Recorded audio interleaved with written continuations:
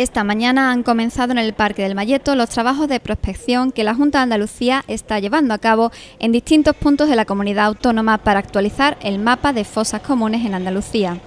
El teniente de alcalde delegado de recuperación de la memoria histórica, Antonio Franco, ha estado presente en el inicio de estos trabajos que está ejecutando la Universidad de Cádiz mediante un convenio con la Delegación Territorial de la Consejería de Cultura de la Junta de Andalucía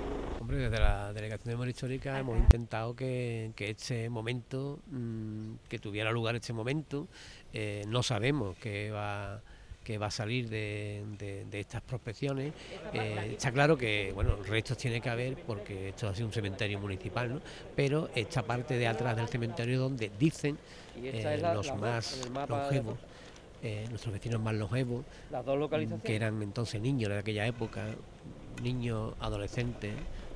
eh, que aquí fusilaban y enterraban a, la gente durante la guerra. Por lo tanto, creemos que, puede haber aquí una fosa común. De hecho, eh, compañeros de la CNT de Jerez celebran todos los veranos un acto en memoria de, fusilados aquí y que se suponen, que no han sido nunca encontrados, que se suponen que están enterrados en una fosa común aquí, en este parque del Mayeto. Bueno, eh, se está, por parte de la, Consejería, de la Consejería de Cultura, el área de memoria histórica de Andalucía, se está actualizando, eh, se está llevando a cabo la actualización del mapa de fosas comunes. El último mapa es del año 2010, donde aparecieron se localizaron 640 fosas comunes de la posguerra y de, durante la guerra civil y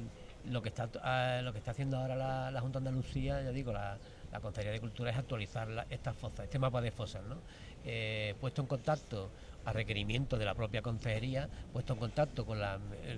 la, sección de memoria histórica de Rota, eh, nos dieron dos posibles lugares donde podría haber fosas comunes en nuestra localidad. Una es el Parque El Mayeto, donde nos encontramos ahora, y otra es la zona de eh, la Valcárcel, la variada Valcárcel, donde había un cementerio que, por lo visto, en, los años 39, 40 y tanto, convivió con, este cementerio también, ¿no?